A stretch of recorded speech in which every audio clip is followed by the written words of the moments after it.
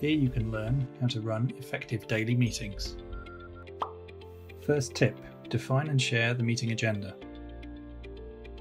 Make sure every meeting has a defined structure and that it is available to all participants. Everyone should have a clearly defined moment to contribute. Take advantage of the mute and unmute feature.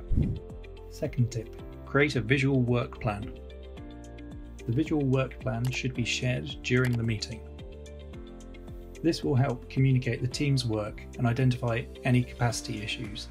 The status of the tasks should be updated during the day. Third tip, automate the team's KPI.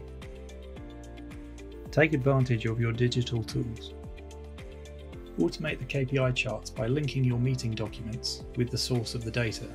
This will reduce the chances of outdated information being displayed. Fourth tip, include some improvement time. Don't forget to set up your PDCA board.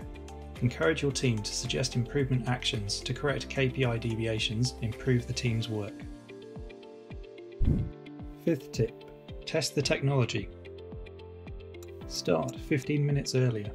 Test your meeting software, test your camera and your audio. Now you are ready to start the meeting. Sixth tip, use video and ban multitasking. Ask your team members to turn on their video. This will help create engagement and keep focus.